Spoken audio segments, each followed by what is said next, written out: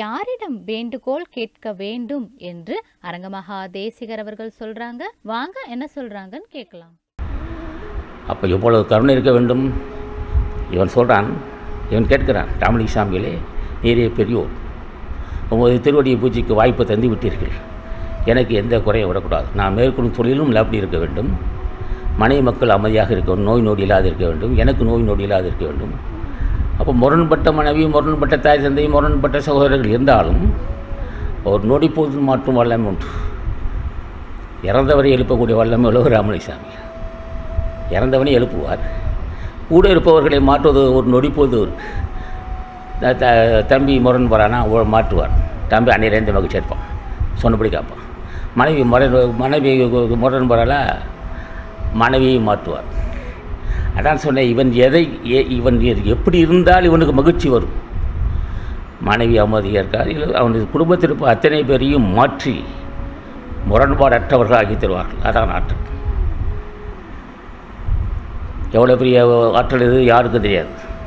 இவன் யாரோடு பழகுகிறானோ வேலையால் பழகுறான் சரி யார் யார் பழகுறானோ நட்பாக மாறுவான். அப்போதான் இவன் மன அமைதி பெறுவான் என்றால் அந்த வேலை செய்து விடுவார் அவர். அதான் ஆற்றல். ச- இறந்தவனை எழுப்பக்கூடிய வல்லமை உள்ளவர்கள் இதை செய்ய மாட்டார்களா? செய்வார்கள். விரும்போது கை கூட வேண்டும். இல்லாதானுக்கு எந்த தடையும் இருக்கக்கூடாது. காலை உணவு மதிய உணவு மாலை உணவு விருப்பம் கை கூட்டிகிட்டே இருக்கணும். ஒன்று புண்ணிய பணம் இருக்க வேண்டும். ஒன்று அருள் பணம் இருக்க வேண்டும். விருப்பம் தான் விரும்புவது கை கொடுது என்றால் சாதாரண விஷயம் இல்லை ஒரு வாகனம் தரமாக தரமான வாகனம் வேண்டும். வாகனம் வரும். தரமான வாகனம்னா வாகனம் உடல் ஆரோக்கியம் இருக்கணும். மன கவலை இருக்கக்கூடாது. இவனுக்கு எப்படி க மன அமைதி வரும்? கடன் சுமை இருக்குது அதை விட சரி. சொந்த வீடு இருக்கணும். அது வே- சொந்த வீடு அமைதி. சொந்த வீடு வேண்டும்.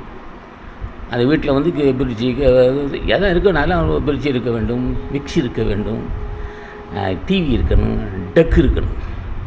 இதெல்லாம் மன அமைதினா அது அதுவும் தருவார். இதெல்லாம் தேவையான தேவை. மனிதனுக்கு அவசியம் தான் அது.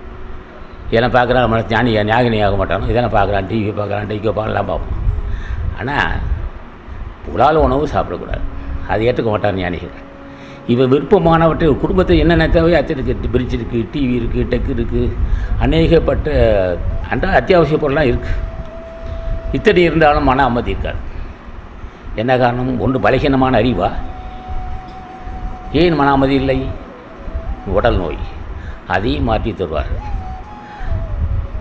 மன அமைதி உள்ளவர்கள் மன அமைதி விரும்புகிறவர்கள் பக்தி வேண்டும்.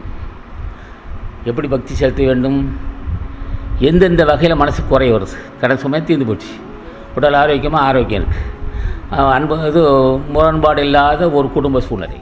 ஆசானது அருளுரைகளை தொடர்ந்து கேட்க அரங்கர் டிவிக்கு லைக் பண்ணுங்க சப்ஸ்கிரைப் பண்ணுங்க மறக்காம பெல் பட்டனையும் கிளிக் பண்ணுங்க.